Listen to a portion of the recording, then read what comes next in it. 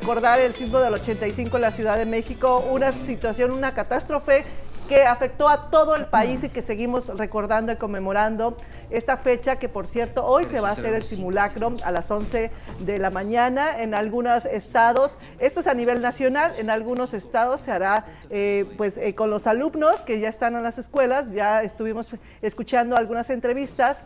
que ya los maestros se prepararon con ellos, van a tener todo listo, en los hogares podemos hacerlo también porque uno nunca sabe en qué momento nos puede llegar a suceder de nueva cuenta, pero eh, pues la pérdida de muchos seres, de muchas familias perdidas, eh, desaparecidas, una situación que como, como, eh, que emocionó mucho a todo el país y al mundo y que sobre todo nos unimos para poder ayudar a cada una de las familias que quedó ahí sepultadas, que quedaron sin hogares, ¿no? Prácticamente. Y es por ello que se celebra, bueno, se conmemora, perdón, el Día Nacional de Protección Civil. Hay que recordar que en el 85, con magnitud de 8.1 en la escala de Richter, a las 7.17 de la mañana se llevó a cabo el primer sismo. Este en el 85, un día como hoy, con epicentro en Michoacán. De ahí uno en el 2017, también este mismo día, a la 1.14 de la tarde, 7.1 en la escala de Richter. Y el más reciente podría decirse de esta magnitud, 7.7 en el 2022, un día como hoy, en punto de las 12.19 de la tarde, Berenice.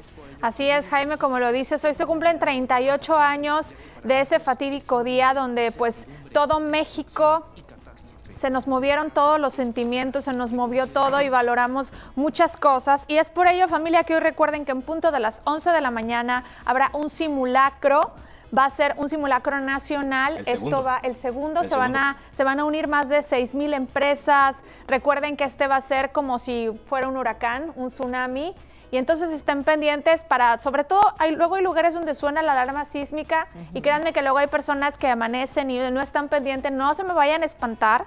Coméntenle a sus vecinos, a sus amigos, a todo mundo que va a haber un simulacro y luego las alarmas sísmicas sí suenan bastante duro, depende del estado pero que no se me vayan a espantar, pero sí yo creo que hay que guardar por lo menos un minuto de silencio y orar por, por todas las personas que se perdieron, luego vino el del 2017, en fin, seguir orando, que Dios nos siga protegiendo y que si vuelve a haber uno por estos meses son los más vulnerables para poder ver, que todos sepamos qué hacer.